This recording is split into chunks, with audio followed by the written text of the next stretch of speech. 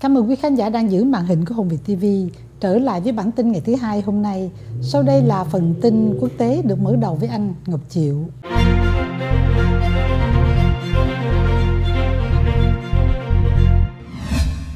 Sau đây là phần tin quốc tế. Lãnh đạo Liên Hiệp Quốc và các lãnh đạo thế giới đến Glasgow để dự hội nghị thượng đỉnh khí hậu.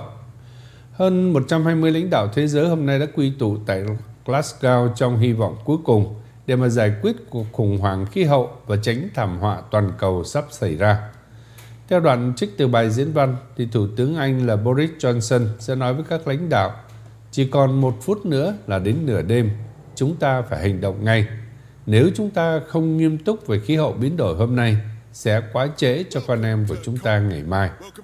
Các nhà quan sát hy vọng là cuộc họp cuối tuần qua ở Rome của các lãnh đạo nhóm G20 sẽ là một động lực mạnh cho hội nghị thượng đỉnh COP26 ở tại Glasgow. Và nhóm G20 vào hôm Chủ nhật đã cam kết thực hiện mục tiêu giới hạn nhiệt độ toàn cầu tăng 1.5 độ C trước mức tiền công nghiệp, mục tiêu tham vọng nhất của thỏa thuận Paris năm 2015. Họ cũng đồng ý chấm dứt tài trợ cho các nhà máy nhiệt điện than mới ở tại ngoại quốc trước cuối năm 2021. Nhưng việc này không thuyết phục các tổ chức phi chính phủ. Thủ tướng Anh hay Liên Hiệp Quốc trên Twitter thì Tổng thư ký của Liên Hiệp Quốc Antonio Guterres cho biết rằng trong khi ông hoan nghênh cam kết của nhóm G20 với các giải pháp toàn cầu, ông đã rời Rome với niềm hy vọng chưa hoàn thành, nhưng ít nhất chúng không bị vùi lấp. Ông Johnson vào hôm Chủ nhật thì cho hay nếu Glasgow thất bại thì tất cả mọi việc sẽ thất bại. Hội nghị Glasgow diễn ra giữa một loạt các sự kiện thời tiết khắc nghiệt trên khắp thế giới, cho thấy tác động lớn của khí hậu biến đổi sau 150 năm sử dụng nhiên liệu hóa thạch. Theo Liên Hợp Quốc thì cam kết hiện tại của các nước ký kết thỏa thuận Paris nếu họ thực hiện thì sẽ dẫn đến toàn cầu tăng thêm 2.7 độ C và Chủ tịch của Hội nghị Thượng đỉnh Alok Sharma đã gọi COP26 là hy vọng cuối cùng để mà hạn chế mức tăng ở 1.5 độ C. Liên quan đến tình hình Á Châu, Thái Lan và Úc nới lỏng biên giới quốc tế. Thưa quý vị, Úc và Thái Lan hôm nay nới lỏng đáng kể biên giới quốc tế lần đầu tiên trong 18 tháng qua, kiểm tra nhu cầu du lịch và đi lại ở Á Châu sau đại dịch Covid-19 hàng trăm du khách ngoại quốc đã chích ngừa đến thủ đô Thái Lan trong chương trình đi lại miễn chích ngừa. Sau khi Thái Lan bật đèn xanh cho du khách đã chích ngừa từ hơn 60 quốc gia, trong đó có Hoa Kỳ và Trung Cộng. Nhiều nước Âu Châu cũng nằm trong danh sách khi Thái Lan muốn thu hút du khách từ Bắc bán cầu tìm nơi tránh mùa đông tẻ nhạt. Những hy vọng này có vẻ được đền đáp. Du khách người Đức Simon Reto và nhóm bạn nằm trong số những người đầu tiên đến Bangkok Andretto cho biết, ngay lúc này ở Âu Châu trời rất lạnh. Anh đặt chuyến bay và thật ngạc nhiên khi biết mình nằm trong số những người đầu tiên đến Thái Lan. Ở Sydney, hàng trăm công dân được gia đình và bạn bè đến đón, nhận quà tặng gồm bánh, chocolate và hoa dại khi họ trở thành những người đầu tiên đến Úc không cần giấy phép hay phải cách ly kể từ tháng 4 năm 2020. Ông Ethan Carter đi trên chuyến bay của Qantas Airways từ Los Angeles cho hay Ông vừa lo lắng vừa vui mừng. Ông về nhà thăm mẹ vì mẹ ông không được khỏe. Mặc dù ban đầu đi lại chỉ giới hạn ở một vài tiểu bang và dành cho công dân Úc, thường trú nhân gia đình của họ và người Tân Tây Lan, nó mở đầu kế hoạch mở cửa lại cho du khách và người lao động ngoại quốc. Cả hai đang rất cần để hồi sinh nền kinh tế. Ông Philip Go, Phó Chủ tịch Á Châu Thái Bình Dương của Hiệp hội Vận tải Hàng không Quốc tế IATA cho hay, Việc nước Úc công bố đi lại miễn cách ly dành cho công dân Singapore từ ngày 21 tháng 11 là một bước tiến đến bình thường mới. Mặc dù nới lỏng quy định đi lại bình thường còn là một con đường dài.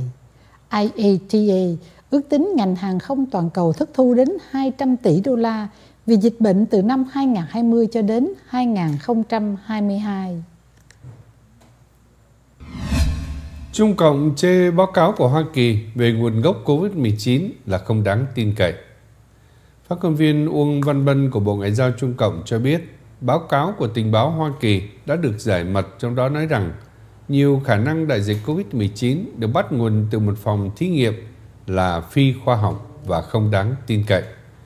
Báo cáo của tình báo Hoa Kỳ công bố vào hôm thứ Bảy cho hay, nguồn gốc tự nhiên và rò rỉ từ phòng thí nghiệm là hai giải thuyết để mà giải thích cách mà COVID-19 lây nhiễm sang người. Nhưng sự thật có thể không bao giờ biết được. Trong phản hồi vào hôm Chủ nhật trên trang web thì Bộ Ngoại giao của Trung Cộng là ông Uông cho biết một lời dối trá lặp lại một ngàn lần thì vẫn là lời dối trá. Tình báo Hoa Kỳ nổi tiếng là gian lận và dối trá. Truy tìm nguồn gốc COVID-19 là vấn đề nghiêm túc và phức tạp, cần được nghiên cứu qua sự hợp tác của các nhà khoa học toàn cầu. Trung Cộng liên tục phủ nhận cáo buộc virus đã rò rỉ từ một phòng thí nghiệm ở thành phố Vũ Hán, nơi mà COVID-19 được phát hiện đầu tiên vào cuối năm 2019. Ông Ngô cũng nhắc lại là Trung Cộng kêu gọi Hoa Kỳ mở cửa phòng thí nghiệm tại Fort Detrick cho các chuyên gia quốc tế. Nghiên cứu chung của Trung Cộng và Tổ chức Y tế Thế giới WHO công bố vào năm nay loại trừ giả thuyết COVID-19 có nguồn gốc từ phòng thí nghiệm và cho biết rằng giả thuyết nghi ngờ nhất là con người nhiễm virus một cách tự nhiên, có thể qua mua bán động vật hoang dã. Những người chỉ trích cho rằng cuộc nghiên cứu không điều tra các phòng thí nghiệm ở Vũ Hán và không xem xét dữ liệu nguyên thủy để mà hiểu rõ con đường lây truyền ban đầu của virus. Vào tháng trước thì WHO thành lập nhóm cố vấn khoa học về nguồn gốc của các mầm bệnh mới, tức là SAGO, và đề nghị Trung Cộng cung cấp dữ liệu nguyên thủy để mà thực hiện cuộc điều tra mới. Trung Cộng từ chối cung cấp với lý do quy định quyền riêng tư của bệnh nhân. Nam Hàn và Hoa Kỳ âm thầm tổ chức cuộc tập trận không quân chung. Thưa quý vị, Nam Hàn và Hoa Kỳ hôm nay đã bắt đầu cuộc tập trận không quân chung giữa lúc căng thẳng vì các cuộc thử hỏa tiễn gần đây của Bắc Hàn và lời kêu gọi tái khởi động cuộc đàm phán giải trừ hạt nhân. Cuộc tập trận bao gồm hàng chục ngàn binh lính và hàng trăm chiến đấu cơ tối tân, phi cơ ném bom và chiến đấu cơ khác. Nhưng cuộc tập trận thu hẹp quy mô từ năm 2017 để tạo điều kiện cho cuộc đàm phán nhằm chấm dứt chương trình hạt nhân và hỏa tiễn của Bắc Hàn. Đổi lại là nới lỏng các lệnh trừng phạt của Hoa Kỳ. Hai đồng minh bắt đầu cuộc tập trận mà không công bố hay đặt tên cho nó. Hãng thông tấn Yonhap cho hay khoảng 100 phi cơ từ mỗi bên tham gia, trong đó có F-15K và KF-16 của Nam Hàn, cũng như F-16 của Hoa Kỳ. Không quân Nam Hàn không xác nhận thông tin này. Cuộc tập trận diễn ra sau khi Bắc Hàn phóng thử hỏa tiễn đạn đạo phóng từ tàu ngầm, lần thử mới nhất trong một loạt thử võ khí gần đây. Bắc Hàn xem tập trận ở Nam Hàn là tập dược cho chiến tranh và cắt đứt đường dây nóng liên triều khi hai đồng minh tổ chức đợt huấn luyện thường kỳ hồi tháng 8, cáo buộc Seoul có hành vi phản trắc. Ông Sung Kim, đại sứ Hoa Kỳ phụ trách Bắc Hàn, lên án cuộc thử hỏa tiễn là đáng lo ngại và phản tác dụng trong chuyến thăm Seoul tuần trước và kêu gọi Bình Nhưỡng quay lại bàn đàm phán. Bắc Hàn khước từ đề nghị của Hoa Kỳ cáo buộc Hoa Tịnh Đốn và Seoul tiêu chuẩn kép vì chỉ trích chương trình võ khí của Bắc Hàn trong khi gây căng thẳng bằng hoạt động quân sự của chính họ. Đài Loan cho xuất kích chiến đấu cơ do việc không quân của Trung Cộng đã bay vào vùng phòng không. Không quân của Đài Loan vào hôm Chủ nhật đã xuất kích để mà cảnh cáo 8 chiếc phi cơ Trung Cộng, trong đó có 9 đấu cơ đã bay vào vùng phòng không của Đài Loan, tại thời điểm căng thẳng tăng cao ở tại eo biển Đài Loan. Đài Loan hơn một năm qua liên tục ghi nhận là phi cơ của không quân Trung Cộng đã bay gần hòn đảo và thường ở phía tây nam của vùng phòng công gần với quần đảo Đông Sa. Bộ Quốc phòng của Đài Loan thì cho hay phi cơ Trung Cộng gồm 6 ờ, chín chiến đấu cơ J-16 là một loại phi cơ chống tàu ngầm và một phi cơ do thám. Đài Loan thì nhấn mạnh hoạt động quân sự của Trung Cộng gần hòn đảo đã đe dọa đến sự ổn định của khu vực và liên tục khẳng định quyết tâm bảo vệ tự do và dân chủ. Ngoại trưởng của Hoa Kỳ là Antony Blinken vào hôm Chủ nhật cho biết với người tương nhiệm của Trung Cộng là Hoa Kỳ phản đối hành động của Bắc Kinh vì nó làm căng thẳng leo thang ở eo biển Đài Loan. Giới chức Bộ Ngoại giao cho hay là trong cuộc họp với Bộ trưởng Ngoại giao Trung Cộng là Vương Nghị bên lề hội nghị thượng đỉnh của nhóm G20 ở tại Rome. Ông Blinken đã nói thẳng là Hoa Thịnh Đốn phản đối bất kỳ thay đổi đơn phương nào của Bắc Kinh với hiện trạng ở tại đó. Và ông Vương thì trả lời, ông ờ, Blinken là căng thẳng về Đài Loan là do Hoa Kỳ hỗ trợ cho lực lượng ủng hộ độc lập tại Đài Loan. Trung Cộng gia tăng hoạt động quân sự ở vùng phòng không của Đài Loan được Đài Bắc xem là quấy nhiễu quân sự từ phía Bắc Kinh. Tổng thống Thái Văn tuyên bố Đài Loan là một quốc gia độc lập và xem hiện đại hóa lực lượng vũ trang là ưu tiên hàng đầu. Tin thế giới tiếp theo cho biết, hàng ngàn người chạy trốn bạo lực ở khu vực Papua của Indonesia sau khi bé trai 2 tuổi bị bắn chết. Lãnh đạo nhà thờ ở khu vực Papua của Indonesia hôm Chủ nhật kêu gọi bình tĩnh khi hàng ngàn người chạy đến các nhà lánh nạn sau khi một bé trai 2 tuổi bị bắn chết trong cuộc đụng độ giữa binh lính chính phủ và quân nổi dậy. Khu vực bất ổn ở cực đông Indonesia là nơi xảy ra các cuộc đụng, các cuộc xung đột trong nhiều thập niên qua, một trong những cuộc nổi dậy kéo dài nhất thế giới. Một bé trai 2 tuổi thiệt mạng trong cuộc đấu súng, trong khi một em bé 6 tuổi nhập viện vì bị thương do trúng đạn trong cuộc đụng độ ở khu vực Intan Jaya. Theo nhà chức trách địa phương, quân nổi dậy sau đó tìm cách chiếm quyền kiểm soát phi trường địa phương. Cảnh sát trước đó quy trách nhiệm vụ nổ súng chết người cho quân du kích. Thông tin trái ngược khá phổ biến ở Papua, nơi lực lượng an ninh Indonesia lâu nay bị cáo buộc là ngược đãi thường dân. Lo sợ bạo lực leo thang, khoảng 2.000 người Papua chạy đến lánh nạn tại các tòa nhà của nhà thờ quản lý. Cha Dominicus Hodo ở giáo phận công giáo Timika cho biết, ông kêu gọi hai bên lập tức ngừng bắn, bắt đầu đối thoại để mang lại hòa bình lâu dài. Phát ngôn viên cảnh sát Papua Faizan Rama Hatni xác nhận vụ nổ súng chết người và hàng ngàn người rời khỏi khu vực, nhưng nói thêm quân đội kiểm soát các cơ sở công cộng quan trọng. Theo phát ngôn viên quân nổi dậy Sepi Sambom, giao tranh tuần này là cuộc đấu tranh hợp pháp trong cuộc chiến vì độc lập là thuộc địa cũ của Hòa Lan, Papua tự tuyên bố độc lập năm 1961, nhưng Indonesia chiếm quyền kiểm soát Papua hai năm sau đó, hứa hẹn tổ chức cuộc trưng cầu dân ý về độc lập. Người dân chủ yếu theo công giáo ở Papua không có nhiều liên hệ văn hóa với Indonesia, chủ yếu theo Hồi giáo. Nhật Bản lên án cuộc tấn công tàn bạo trên xe lửa ở Tokyo Giới truyền thông Nhật Bản cho biết là nghi phạm trong cuộc tấn công vào hôm Halloween trên xe lửa ở Tokyo đã khai nhận ngưỡng mộ tên côn đồ khét tiếng là Joker, trong khi nhà chức trách mô tả sự việc là một cuộc tấn công tàn bạo và dã man. Cảnh sát bắt giữ nghi phạm 24 tuổi về âm mưu giết người liên quan đến cuộc tấn công vào tối ngày Chủ nhật, đã làm cho 18 người phải nhập bệnh viện. Sự việc gây ra hoảng loạn và hỗn loạn ở đất nước nơi mà tội phạm bạo lực hiếm khi xảy ra. Và hình ảnh trên truyền hình cho thấy là hành khách đã sợ hãi bỏ chạy khi mà khói tràn ngập toa xe lửa. Phát ngôn viên cảnh sát ở Tokyo cho hay là nghi phạm đã dùng dao đâm vào ngực phải của một nam hành khách vào khoảng 70 tuổi, nhưng đã không đạt được mục tiêu giết người. Anh ta khai với cảnh sát là anh ta muốn lãnh án tử hình vì tội giết người. Người đàn ông lớn tuổi bị thương nặng sau khi bị đâm. Và phát ngôn viên của chính phủ là Hirokazu Masuno vào hôm nay mô tả sự việc là một cuộc tấn công tàn bạo và dã man. Hãng thông tấn Kyodo và nhật báo Sankei Shimbun cho biết là kẻ tấn công đã khai với cảnh sát là anh ta ngưỡng mộ Joker. Anh ta thú nhận là anh ta thất bại trong công việc, tình bạn và muốn chết, nhưng không thể tự chết được. Kẻ thù truyền kiếp của người rơi được xem là một trong những người có tâm bệnh khét tiếng nhất trong lịch sử của Chiến tranh.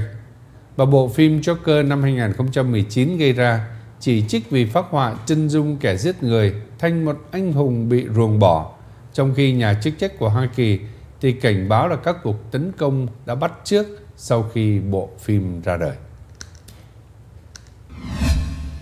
Hàng ngàn người kêu gọi cải cách nền quân chủ và chính quyền ở Bangkok người biểu tình một lần nữa đổ ra đường phố Bangkok, kêu gọi cải cách nền quân chủ Thái Lan và chính quyền quân sự.